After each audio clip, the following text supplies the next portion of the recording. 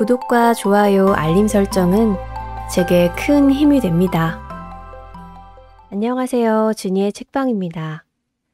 오늘도 따뜻한 하루를 보내셨나요? 훗날 추억이 될 하루를 보내셨길 바래봅니다.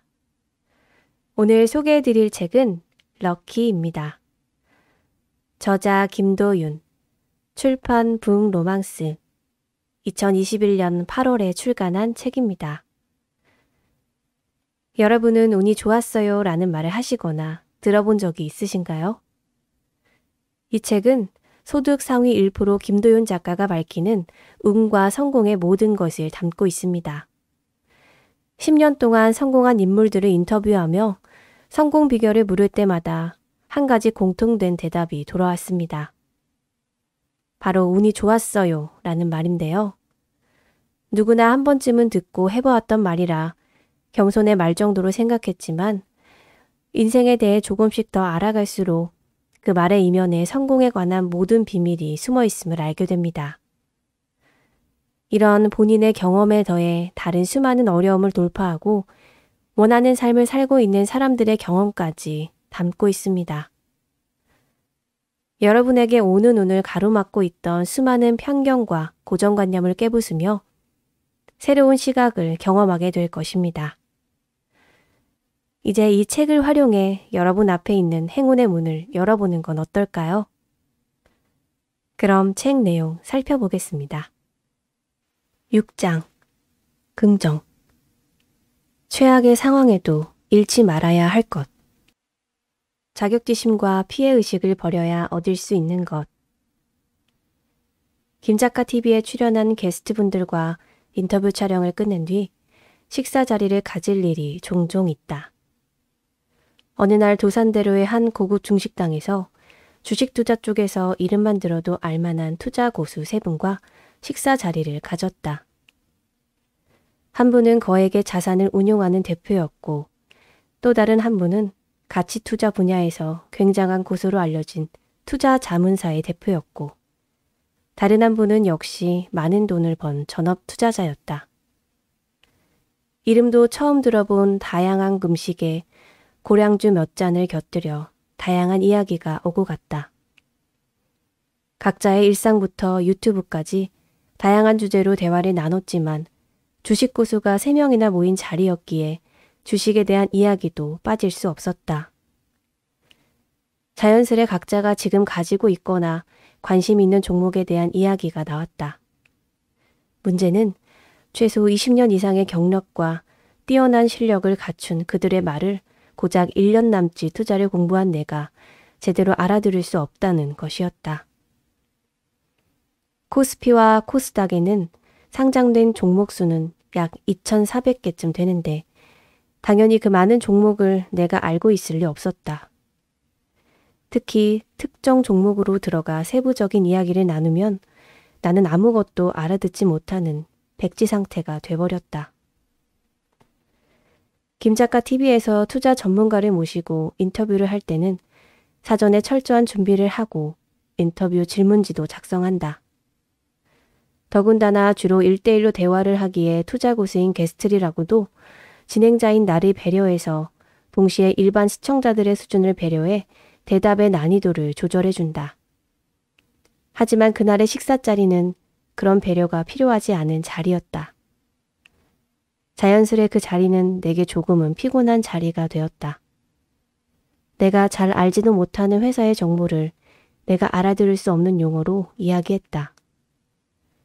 마치 외국어로 대화하는 사람들 사이에서 나 혼자 바보가 된 같은 느낌을 들 정도였다. 혹시나 오해가 있을까봐 이야기하지만 그들에게는 어떠한 잘못도 없었다.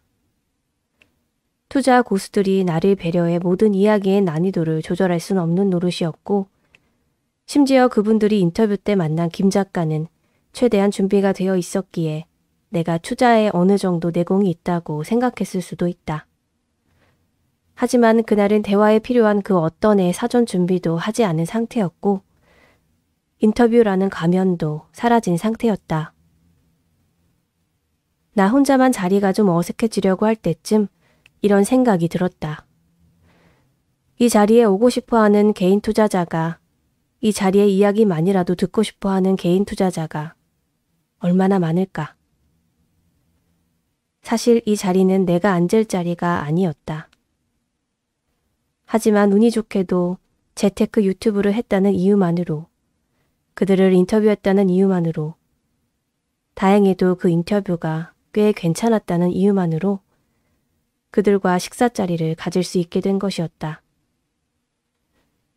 그렇게 생각이 바뀌고 그들의 대화에 집중하기 시작했다. 그러자 투자 고수들의 공통점이 보이기 시작했고 투자 종목이 겹치는 것을 발견했고 더 나아가 생각을 바꾸기 시작했다. 오늘은 이야기의 30%밖에 알아듣지 못했지만 다음번에 또 이런 자리가 있으면 그때는 이야기의 50%는 알아들어야지. 그렇게 내 투자자의 실력을 쌓을 좋을 기회로 만들어야지 하고 생각했다. 그러자 나를 가득 채우고 있었던 모든 자격지심과 피해의식이 사라졌다. 다행히도 그 순간의 힘든 감정을 최대한 테이블 밑으로 내려놓았기에 몇 달 뒤에도 그들과 함께 식사하는 자리를 가질 수 있었고 전보다 더 그들의 대화를 이해할 수 있었다. 생각해보면 어린 시절에도 이런 경우가 종종 있었다. 20대 중반 시절 친하게 지내고 있었던 고등학교 동창을 오랜만에 만났다. 술자리를 가지며 이런저런 대화가 오가던 도중 영어 성적에 대한 이야기가 나왔다. 서울의 명문대를 다니던 한 친구는 중고등학교 때 미국에서 유학생활을 한 덕에 토익 점수가 만점이었고 지방 국립대를 다니며 석사 준비를 하고 있던 다른 친구도 토익 점수가 900점이 넘었다. 그 당시 나는 토익 자체를 쳐본 적도 없는 상태였다. 친구들의 영어 점수를 듣자마자 머리가 어지러워지기 시작했다. 그저 나와 똑같이 놀고 있는 친구들이라고 생각했는데 우리가 서 있는 위치가 꽤 많이 달라졌다는 것을 뒤늦게 눈치챈 것이다. 그 후그 그 친구들과 1, 2년 동안 만나지 못했다. 부끄럽지만 그 당시 나는 자격지심과 피해의식이 컸다. 어쩌면 친한 친구들이었기에 어떻게 영어 공부를 하면 되는지, 영어 교재는 뭘 보면 되는지 물어보고 도움받을 수도 있었을 텐데, 오히려 연락이 오면 바쁘다는 핑계로 친구들을 만나는 걸 피했다. 시간이 지나고 나서 생각해 보니 투자 고수들과의 자리나 내 친구들과의 자리나 어색하고 불편한 건 마찬가지였다. 어느 자리든 배울 것과 얻을 것은 있었다. 하지만 그 상황을 바라보는 내 관점과 태도에 따라서 어떤 자리는 피하고 싶은 자리가 되어버렸고 어떤 자리는 앉고 싶은 자리가 되었다. 당신에게도 분명히 앉아 있으면 배울 것이 많은 다양한 테이블이 있었을 것이다. 그 테이블을 박차고 일어난 건 누군가의 편견이나 시선이 아닌 어쩌면 우리의 잘못된 피해의식과 자격지심 때문일지도 모른다. 그 순간에 내 감정을 위해 일어날 수도 있다. 다만 그 자리에서 일어나는 순간 그 자리에서 얻을 수 있는 것들도 놓고 가야 한다는 사실을 명심해야 한다. 한 가지 질문을 하고 싶다. 배울 것이 많지만 당신을 힘들게 하는 자리. 당신은 피하지 않고 그 테이블에 계속 앉아 있을 수 있을까요? 최악의 부름마저도 극복하게 하느님. 사실 나는 운에 대해 책을 쓰는 것이 조금 민망할 정도로 운이 없는 사람이었다. 아니, 운이 없다 정도를 떠나 운이 나빴던 경우가 더 많았다. 20, 30대에 있어 가장 중요한 대학, 취업, 결혼 모두 남보다 늦었거나 아직 하지 못했다. 공부를 못했던 내가 갈 수 있는 4년제 대학은 거의 없었다. 그래서 2년제 전문대에 입학했고 군대를 제대한 24살에 다시 수능을 쳐 지방 사립대에 입학했다. 취업도 늦었다. 나는 세 번의 인턴십과 한 번의 계약직 일을 하는 1년 반의 시간을 겨우 겹쳐서 정규직 사원이 되었다. 그때 내 나이가 서른이었다. 그 밖에도 수많은 난관이 있었지만 그때마다 한 가지 관점과 한 가지 판단으로 그 위기를 극복해 나갈 수 있었다. 답부터 먼저 말하자면 한 가지 관점은 긍정과 부정 중 긍정을 선택하는 것이었고 한 가지 판단은 내가 할 수 있는 것과 할 수 없는 것을 구분하는 것이었다. 이 방법으로 평생을 따라다닌 외모 콤플렉스도 극복했고 학벌 콤플렉스도 극복했다. 하지만 내 삶의 진짜 부르는 따로 있었다. 긍정의 힘을 발휘하는 것도 내가 할 수 있는 것을 판단할 여유도 없을 정도로 불행했을 때는 무엇을 할 수 있었을지 고민된다.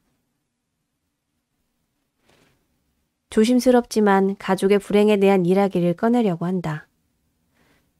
아버지는 괜찮은 대기업에 다니다가 40살의 젊은 나이에 명예퇴직을 당했다. 그 후 할 일이 없어 몇 년을 그냥 놀다가 집에 돈이 떨어질 때쯤 할 수 없이 택시기사가 되었다. 한 달에 200만원 정도의 돈을 벌기 위해 하루에 무려 15시간을 운전했다. 20년 넘게 택시 운전을 해온 아버지에게 택시는 나이가 들어서 하는 여흥이나 취미가 아니었고 말 그대로 생존의 수단이었다. 나의 유일한 형제인 형은 10년 넘게 우울증을 앓았고 자살을 시도한 적이 있다. 불행 중 다행으로 살아남았지만 그 과정을 바라본 가족의 고통은 이루 말할 수 없었다. 그런 형의 모습을 오랫동안 지켜본 어머니 또한 우울증을 앓게 되었고 결국 극단적인 선택으로 이 세상을 떠났다. 이 모든 불행은 내가 감당하기에 너무 큰 비극이었고 결국 나 또한 그 후유증으로 우울증을 앓게 됐다. 어두운 방 안에서 천장을 바라보며 온갖 안 좋은 생각을 했다.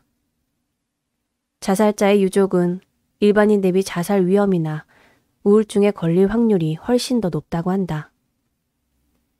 실제 미국 의사협회 학술지인 정신의학에 발표된 연구 결과가 있다.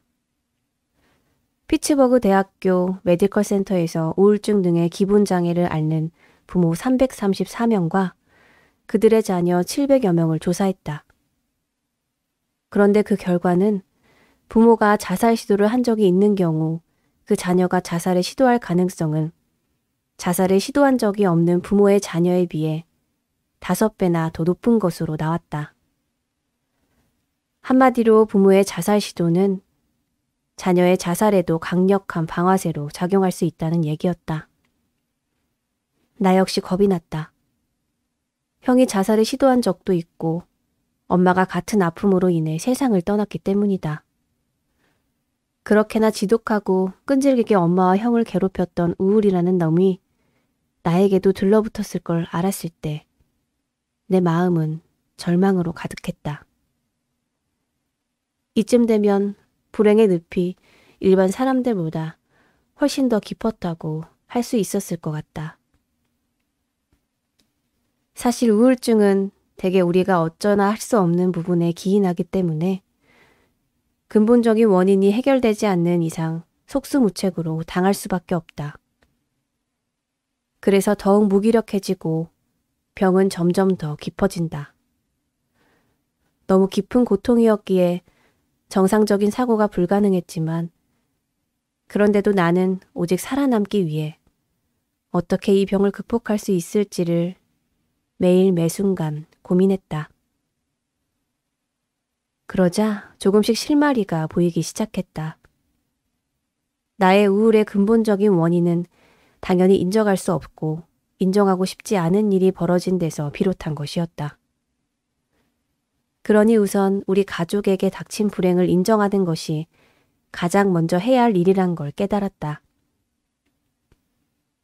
긍정의 시야를 가지는 건 여전히 불가능했지만 내가 어찌할 수 없었던 우리 가족의 우울증과 엄마의 죽음은 어떻게든 받아들여야 했다. 그렇게 우리 가족의 불행을 인정한 나는 나 자신을 불행한 존재로 여기고 스스로를 다독이기 시작했다. 가까스로 부정의 늪에서 빠져나온 나는 그 다음으로 내가 할 수 있는 것을 판단했다. 직업 특성상 불안정한 수입을 안정화하는 것이 우선이었다. 마음의 불안과 우울에 갇히지 않도록 몰입할 대상을 찾는 일도 필요했다. 그러기 위해선 움직여야 했다. 아무것도 하지 않는 것. 나는 그것을 가장 경계했다. 시간이 지났는데도 모든 상황이 그대로면 우울증이라는 늪에서 결코 빠져나올 수 없기 때문이다. 약도 먹고 심리 상담도 받았다. 그간은 집에서 일을 많이 했는데 이제는 분위기 좋은 카페에서 일하기로 했고 매일매일 햇볕을 쬐며 산책을 했다. 가까운 사람들이 만나며 내 아픔에 대한 이야기를 나눴고 무엇보다 완전히 새로운 일인 유튜브 채널 운영을 시작해 새로운 사람과 만나면서 내가 해야 할 일에 몰두했다. 차도 바꿨고 집도 이사하기 위해 부동산에 문의했다. 조금이라도 나아질 수 있다면 시간, 장소, 사람 등 무엇이든 다 바꿨다. 정신과 의사 선생님조차 이렇게 노력하는 환자는 처음 봤다고 할 정도였지만 그 정도로 나는 간절했지만 지금까지 기울인 노력이 허무하게 느껴질 정도로 우울증은 쉽게 다스려지지 않았다. 하지만 쉽지 않다는 걸 완전히 불가능하다고 얘기하는 건 아니다. 결국 이런 꾸준한 노력이 나를 조금씩 우울증에서 벗어나게 했고 어떻게 해야 벗어날 수 있는지도 조금 알게 되었다. 우울증의 바다에 처음 빠져본 나는 깜짝 놀라 허우적대기만 했다. 헤엄을 칠 줄 몰랐기에 그 깊이를 알 수 없는 바다에서 어떻게든 살려고 허우적댔지만 애를 쓰면 쓸수록 더 깊은 바닷속으로 빠져들 뿐이었다.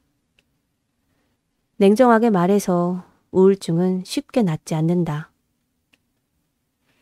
우울증이 생겼다는 것은 대부분 스스로 어찌할 수 없는 큰 문제가 있다는 뜻이다.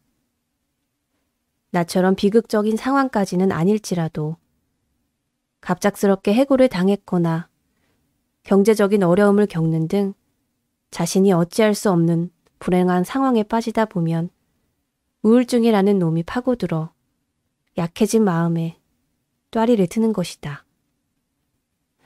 이처럼 큰 불행이 왔을 때 가장 중요한 것은 이 상황을 쉽게 해결할 수 없음을 받아들이는 것이다.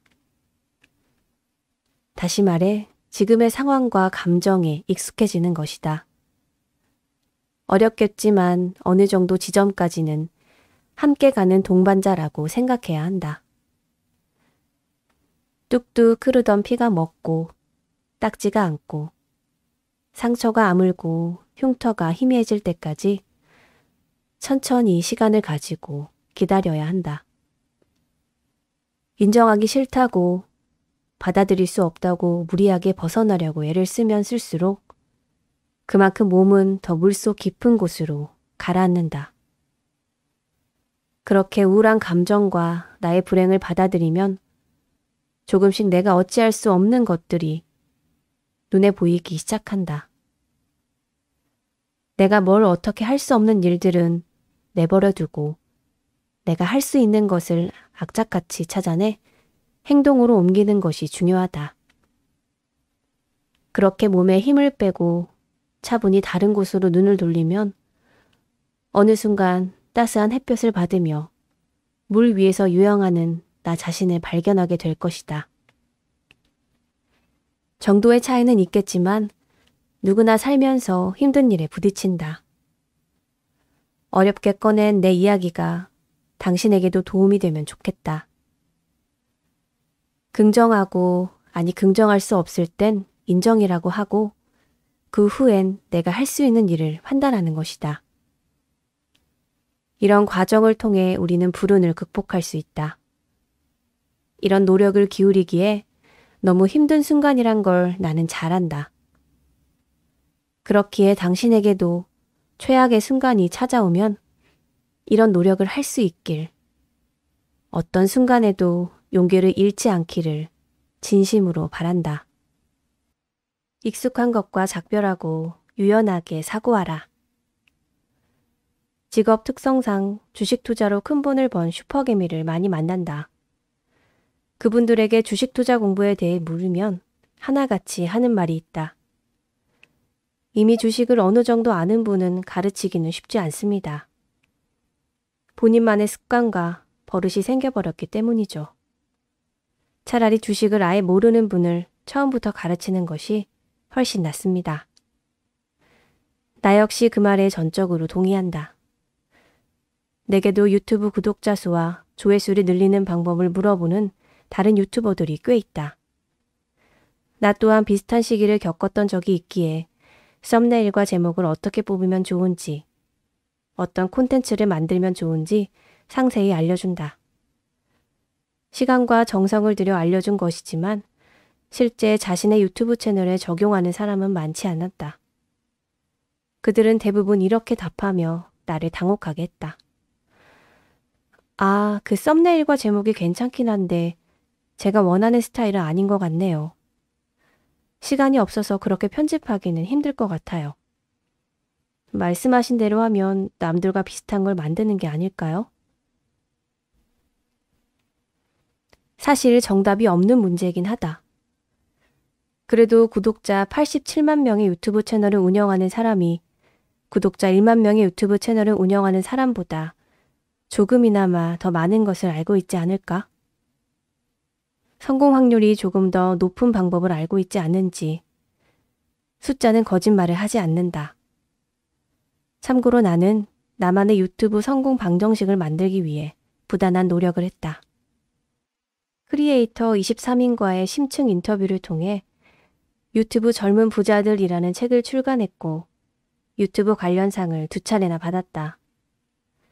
유튜브 관련 강사와 실용 전문학교 유튜브 제작 관련 교수를 역임했고 유튜브 관련 워크숍에 자주 참관하며 구글 유튜브 매니저와 MCN 담당자와도 정기적인 미팅을 한다. 무엇보다 실제로 유튜브 채널을 운영하며 87만 명의 구독자를 만들었다. 하지만 많은 사람이 2년 반 동안 매일 유튜브만을 생각하며 시간을 보낸 내 말을 듣지 않고 자신의 방식을 고수한다. 이미 자신만의 원칙이 생겼기 때문이다. 한 가지 흥미로운 사실은 오히려 내가 썸네일과 제목에 관한 결과값이 좋지 않을 때마다 주변 시청자들에게 끊임없이 물어보고 수정 방향을 찾는다는 것이다. 나는 내 방법이 영원한 정답일 리 없다고 생각한다. 나만의 생각에 빠지다 보면 결국 채널은 무너지게 되어 있다. 내 조언을 듣지 않은 사람에겐 다시 조언해주지 않았다. 내 이야기의 가치를 느끼지 못하는 사람에게 그 이야기를 계속할 수는 없으니까. 고작 2년 경험을 한 내가 이렇게 느끼는데 10년, 20년을 경험한 슈퍼 개미들은 오죽할까. 7년 동안 똑같은 헤어스타일로 산 적이 있다.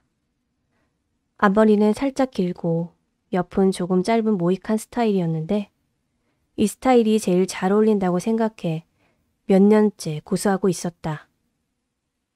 그러던 어느 날 미용사 분께서 헤어스타일을 한번 바꿔보면 어떻겠냐고 제안하셨다. 처음에는 그 말을 듣지 않았지만 몇 개월째 말씀하셔서 어차피 실패해도 머리카락은 금방 다시 자랄 테니까 하고 그의 말을 따랐다. 그런데 머리를 자르고 거울을 보니 생각보다 너무 짧아져 마치 머리를 짧게 깎은 고시생이라도 된 듯한 느낌이었다. 괜히 잘랐구나 하는 생각이 들었지만 혹시 몰라 시청자분에게 물어봤다. 지금 스타일이 더 깔끔하고 멋있네요. 훨씬 더 어려 보여요. 이런 반응이 대다수였다. 100개가 넘는 댓글 중 이전 스타일이 좋다는 사람은 아무도 없었다. 그때 알았다. 전의 헤어스타일은 그저 내 눈에 익숙한 것뿐이었다는 사실을 지금의 바꾼 헤어스타일이 더 좋지만 내 눈엔 어색한 것이었다는 사실을 말이다. 어쩌면 우리가 살면서 고집 부리고 있는 것 중에도 이런 게 많지 않을까라는 생각이 든다. 지금의 내 방식은 어쩌면 가장 좋은 방식이 아니라 그저 나에게 가장 익숙한 방식에 불과한 것인지도 모른다. 무언가 새로운 방법을 시도하는 게 두렵다면 그때마다 잘라버린 머리카락은 시간이 지나면 다시 자란다는 사실을 기억하자. 겁먹지 말고 웬만한 건 다 되돌릴 수 있다. 인생사 세용지마와 진인사 대 천명 인생사 세용지마는 살면서 수도 없이 들은 말 중 하나다. 기륭 화복은 항상 바뀌기 때문에 미리 헤아릴 수 없음을 말해준다. 실제로 살다 보면 복이 화가 되기도 하고 화가 복이 되기도 하는 온갖 경험을 한다. 단순화해서 말하면 성공적인 삶은 화를 복으로 바꾸는 기술에 달려 있을지도 모른다. 그렇다면 화를 복으로 바꾸기 위해 필요한 한 가지는 무엇일까? 바로 긍정적인 마인드다. 이에 대해 한 사업가가 내게 이런 말을 들려줬다. IMF 때 아버지 사업이 망해서 집이 어려워졌는데 그게 저에게 좋은 운을 만들어줬다고 생각해요. 집이 망했기 때문에 어떻게 살아야 하는지, 우리 집을 어떻게 책임져야 하는지 등을 어른 나이에 고민할 수 있었죠. 그 후 17살에 혼자 서울에 올라와 일하기 시작했고, 그렇게 지금까지 온 거예요. 그 시기에 우리 집이 평범했고, 제가 부족함 없이 자랐다면 지금의 저는 없었을 거라고 확신합니다. 그러니 집이 가난했던 게 저의 가장 큰 운이었던 거죠. 이와 비슷한 생각을 하는 투자자를 만난 적도 있다. 그는 이렇게 말했다. 저는 카이스트를 졸업했는데 공부 잘하던 친구들이 가는 길은 어느 정도 정해져 있었어요. 3분의 1 정도는 박사 과정을 밟아 교수가 됐고 3분의 1 정도는 대기업 연구소에 갔거든요. 하지만 저는 그때 공부를 별로 안 해서 친구들보다 출발이 좋지 않았죠. 조그만 기업에 들어가 소프트웨어 엔지니어로 커리어를 시작했는데 지금 돌이켜보면 그 선택이 저한테는 세용지마 같은 거였죠. 지금 우리가 신이 넘었으니 대기업 연구소에 있는 친구들은 이제 곧 회사에서 나오면 뭐로 먹고 살지 같은 고민을 하고 있거든요. 전 그 걱정을 그들보다 훨씬 빨리 했죠. 친구들에 비해 열악한 상황이었으니 앞으로 뭘 해야 될지를 더 어린 나이에 고민하게 됐고 그 힘으로 여기까지 왔어요. 사람들은 그 당시에 할 수 있는 최선의 선택을 하지만 시간이 지나면 그때는 답이었던 게 지금은 아닐 수도 있거든요. 인생은 계획한 대로만 풀리는 게 아니기 때문에 운이 중요하다는 얘기를 다들 하는 거겠죠. 나도 마찬가지다. 처음에는 나도 내가 지방대를 간 게 운이 없는 것으로 생각했다. 하지만 그것도 생각하기에 따라 세용지마가 될 수 있었다. 왜냐하면 여기에서 내가 열심히 해서 1등이 되면 오히려 더 돋보일 수 있을 것 같았기 때문이다. 실제로 학창 시절 총 17번의 공모전 수상을 하면서 학내에 있던 다양한 프로그램 지원에서 많은 혜택을 받았다. 만약 지방대가 아니었으면 그렇게까지 돋보이지는 않았을 것이다. 내가 다닌 학교에서는 나 같은 사람이 극소수였지만 명문대에서는 나 같은 사람이 수십 수백 명은 되었을 테니 말이다. 이런 현상으로만 보면 나쁜 일이지만 그걸 활용하는 사람에 따라 나쁜 운은 얼마든지 좋은 운이 될 수 있다. 아무리 안 좋은 상황도 힘든 상황도 불행한 상황도 마음먹기에 따라 또 그것을 어떻게 활용하느냐에 따라 충분히 좋은 운으로 만들 수 있다는 얘기다. 그렇기 때문에 어떤 상황이 벌어져도 나는 운이 좋다 라고 긍정적으로 사고하는 습관이 우리에겐 필요하다. 부정적으로 사고하면 긴장감이 더해져 합리적인 판단을 못하게 되지만 긍정적으로 사고하면 합리적인 판단이 가능해지고 다음 기회를 도모할 수 있게 된다.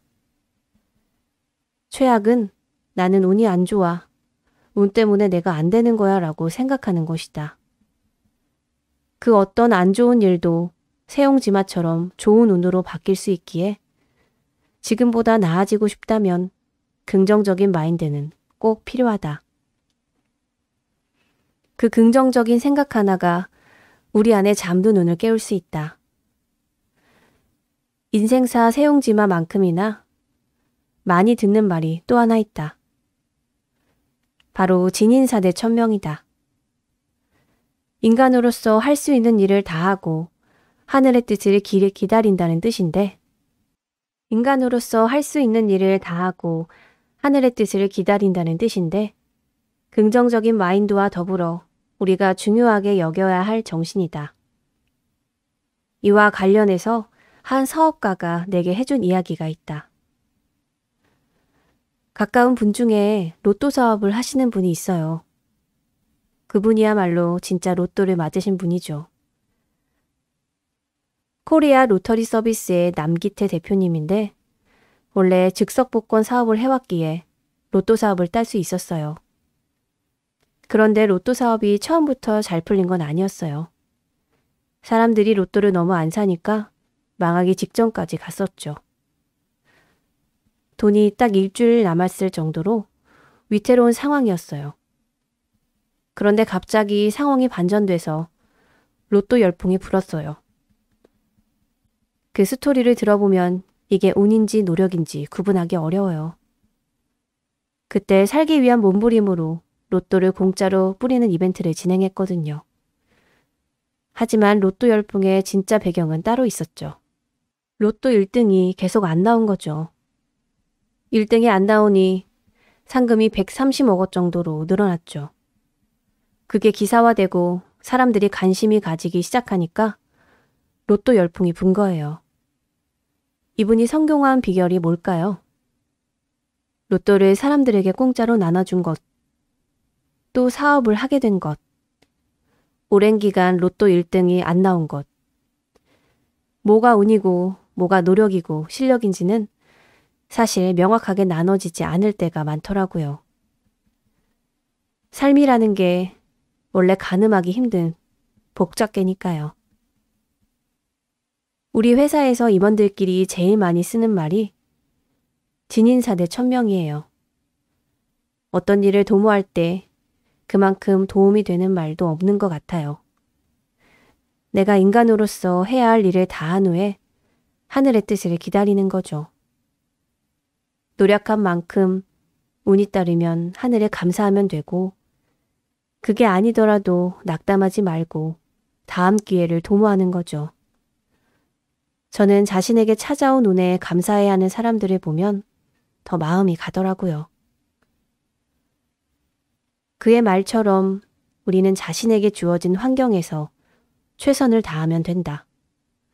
그러다 보면 운이 따를 때가 있는 거고 그 운이 닿으면 감사해야 하면 되는 거다.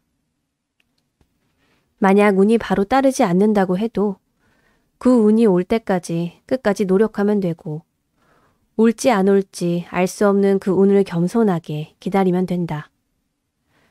이에 대해 2016년 리우올림픽 양궁 국가대표팀 문영철 감독님이 내게 이런 말을 들려줬다.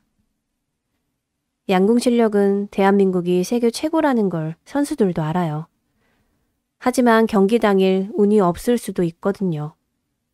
날씨가 안 좋을 수도 있고 컨디션이 떨어질 수도 있으니까요. 선수들도 그런 불안을 느끼고 걱정을 많이 해요. 그럴 때 제가 선수들에게 했던 이야기가 있어요. 나는 종교인도 아니고 믿는 신도 없다. 하지만 내가 믿는 게 하나 있는데 운도 실력이라는 거다. 그러니 두려워할 필요가 없고 너희들 노력이 부족했고 훈련에 떳떳함이 없다면 불안해도 되지만 최선을 다해 노력했다면 하늘도 너의 편을 들 것이다. 그러니 노력한 만큼의 운을 믿고 두려움 없이 시합을 치르면 된다. 대한민국 양궁은 리우 올림픽 때 사상 최초로 전 종목을 석권했다. 믿고 보는 대한민국 양궁. 지면 역적이라는 소리를 들을 만큼 잘하는 것은 맞지만 양국의 모든 종목에서 금메달을 차지한 것은 정말 말도 안 될 정도로 대단한 것이다. 문영철 감독님의 말처럼 자신이 할 수 있는 최선을 다한 사람에게 하늘은 뭐라도 더 주지 않을까. 그게 결국 좋은 운으로 이어지는 게 아닌지. 우리가 결과를 컨트롤할 수 없지만 그 과정에서의 노력은 전적으로 우리에게 달려있다. 그러니 우리는 우리가 할 수 있는 것을 하며 그 결과를 하늘에 맡기고 겸손하게 기다리면 된다. 진인사대 천명의 마음가짐이 당신이 하는 일에 더 많은 운을 가져다 둘 것이다.